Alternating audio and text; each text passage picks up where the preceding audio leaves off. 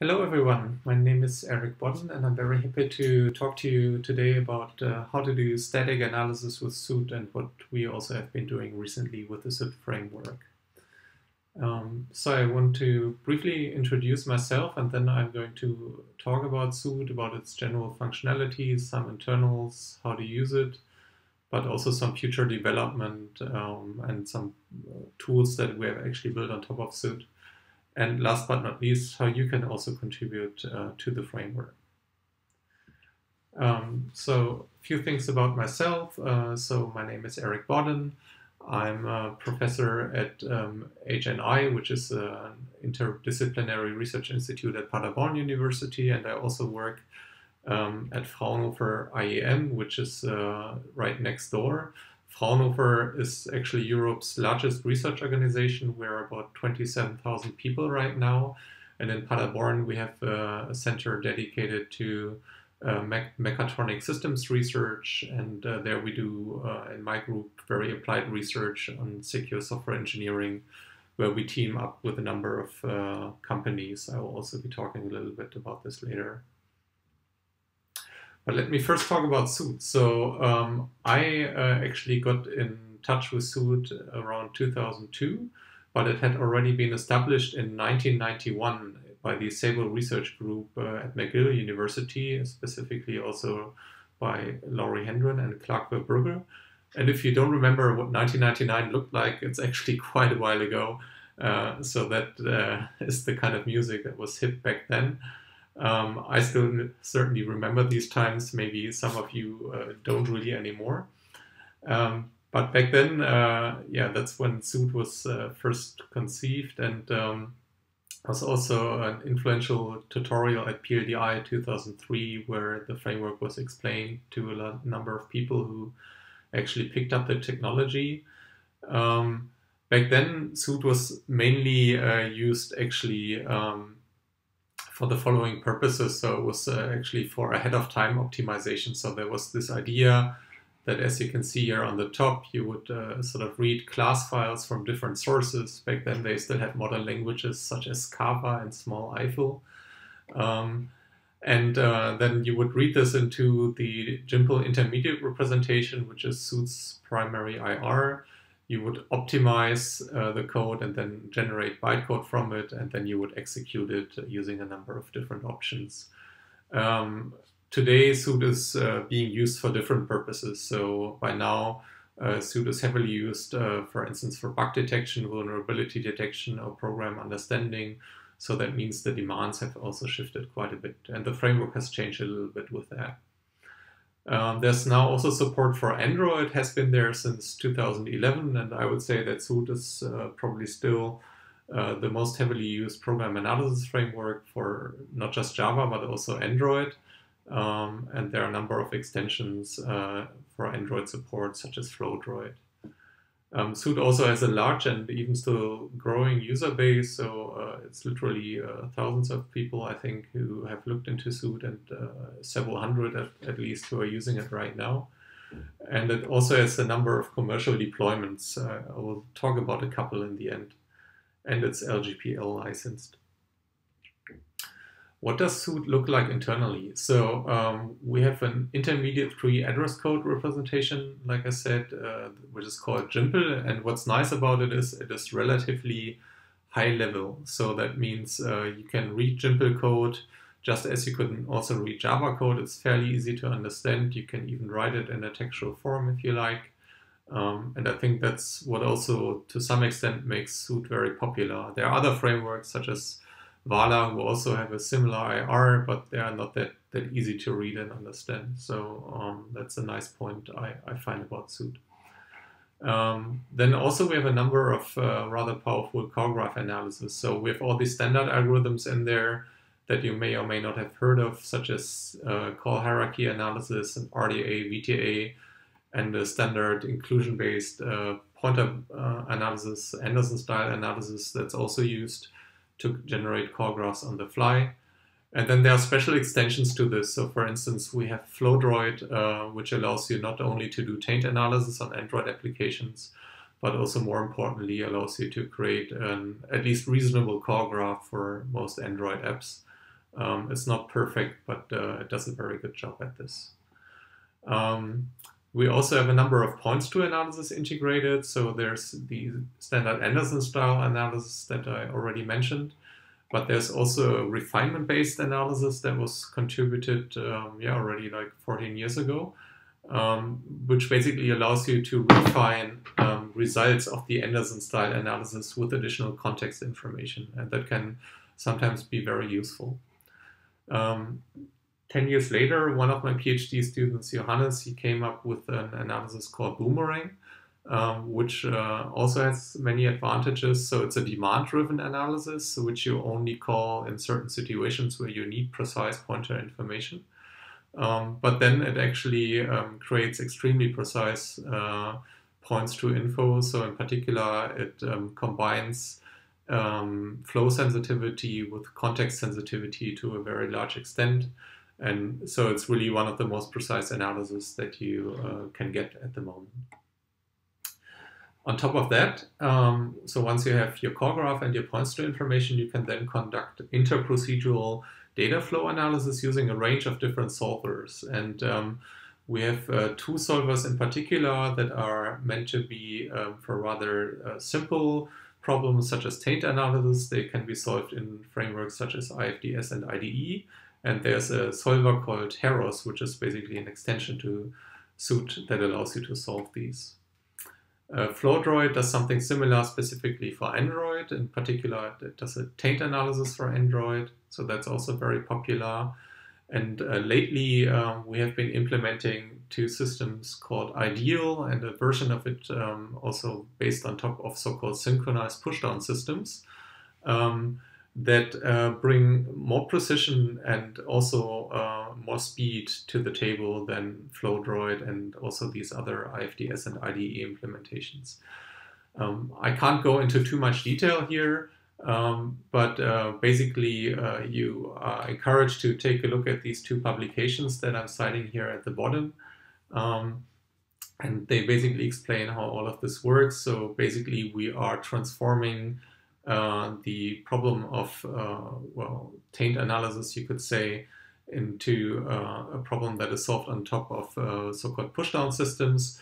And there are two pushdown systems here, one that takes care of um, field sensitivity and one that takes care of um, context sensitivity, so calling context strings.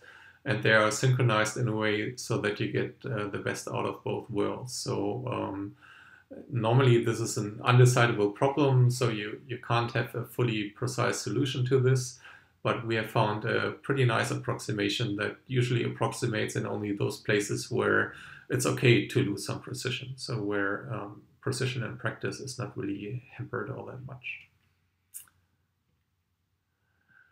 There are also a number of applications uh, that we have on, on top of what you just saw. So one example I briefly want to show you uh, is a tool called CogniCrypt, which you can also um, download and uh, extend uh, online. So it's an open source tool. Um, and it has been integrated into Eclipse. And the uh, purpose of CogniCrypt is alerting you if you are using a cryptographic API insecurely, and so, or if you're using it incorrectly also.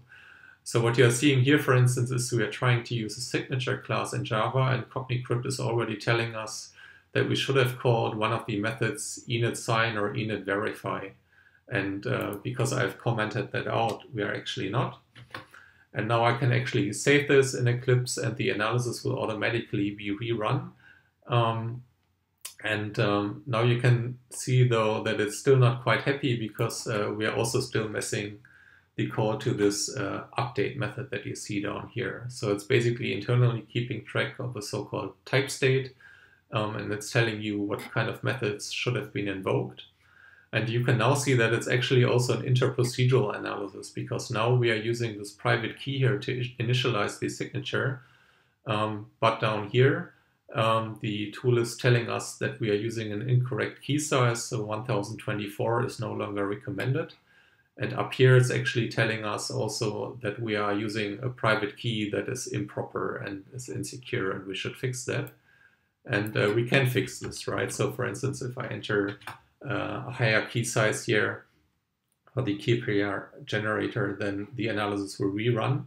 and it will now show us through these info markers that uh, the signature is secure and also the key pair generator down here is being used securely. Um, what you saw here is that the analysis is very rapid and it's actually also pretty precise. So this code could also be spread among several classes interspersed with other code and you would still get similar speed and similar precision. Um, so that's very nice. So we as a community have really come a long way in the last few years to, to make that happen. And um, Soot uh, really provides you core functionalities to build these kinds of tools and algorithms, right? So like I said, there are these da generic data flow solvers uh, as extensions to Soot. Um, and it's also very easy to use uh, Soot in a, in a project. So you can just include a Java dependency, for instance, using Maven, Gradle, or SBT, and so on. And then typically use uh, Soot as a command line tool that you extend one way or the other. Um, we also have some integrations into different IDEs, like you just saw. Um, but uh, yeah, typically as a researcher, you're probably most interested in the command line tool. If you need help, we are happy to provide it. Um, so we have a mailing list and an issue tracker um, that are both used heavily. And we try to answer these requests whenever we can. Sometimes it might take a while because uh, there are many and we have uh, also some other obligations, but we, we try to be helpful. Um, Soot itself, um, like I said, it's already 20 years old, but um, we're still heavily working on it and others too. Um, so, for instance, there's a government funded research project um, called Future Soot that uh, we are heading, and um, basically it means what you're looking at on the right hand side, right? So, Soot has become really this convoluted tool, right, that has lots of bells and whistles, and it's really hard to understand how to use it. And also, the architecture is not the most modern one by, by current standards. And we are really trying to turn this into this uh, sort of sleek thing that you see on the bottom right. Um, so have a completely new architectures, for instance, that goes without singletons, is a lot more modular, and has a lot of um, yeah support for interesting concepts. Like we want to support multiple scenes. So that basically means you will be able to analyze multiple programs or multiple versions of the same program side by side to do comparative and incremental code analysis um, to, for instance, um, just as one requirement. Um, but in general, this should be more modular, and we want to have um, you know less legacy in there and best, better testability. Um, we will keep pretty much the Jimple IR. Um, it will be optimized a bit so that it's actually uh, read only by default so that uh, we actually get faster access to the data structures that will speed up the analysis. Um, and there are also some, some other things we have in mind. Um, we hope to have a first release still this year. Um, it's already getting fall. I'm not exactly sure whether we will manage, um, but uh, hopefully there will be a first release soon. And also upcoming is a workshop with interested stakeholders. So if you're interested in learning more about this project or if you have some requirements you want to tell us about, uh, please do let me know. And uh, we can see to it that you can also participate in that. Also, um, like I said, so Soot is also gaining quite some traction commercially, and there are a number of companies that have already deployed it. So for instance, Soot is running in one of the largest app stores um, that you may have heard of um, to do some malware triaging. Um, but um, earlier this year, for instance, um, just before the corona uh, virus actually well was at least known to have spread to the United States, uh, I, together with uh, Goran and Johannes, we went to New York uh, to visit Amazon Web Services and they are now also building on top of Soot um, to actually build interesting uh, validation and verification tools. And we basically had a two-way, uh, two-day workshop with them um, to tell them about how to use Soot, how to use uh, the other technologies that I talked about, so that they are enabled to uh, build useful tools on, on top of that. If uh, you are interested in contributing, um, then you're most welcome to do so. So there's uh, the uh, website here again mentioned on the right, and we welcome any contributions. So uh, you are certainly most welcome to file bug reports. even better is if you help us also fix bugs, uh, either your own or uh, bugs mentioned by other people. Uh, some we have marked with this tag good first issue, so that is something you may want to look into if you are not yet an expert on Soot. Um, and you know, even more, we even encourage you to actually contribute features. So um, every now and then that happens, and we are very grateful uh, if that, uh, you know, if people do that actually. Um, but we would like to see more of this. Um, and in general, I can just say static analysis is hard, but uh, it's also a lot of fun to work with such a visible framework. And um, so we certainly encourage you to to look into it. And uh, eventually, if you do have regular contributions, we will also be more than happy to make you an official committer. So this is not a closed shop development, it's an open source project, and everybody is uh, more than happy to join. With that, I thank you very much, and I'm um, also very happy to still take any questions. Thank you.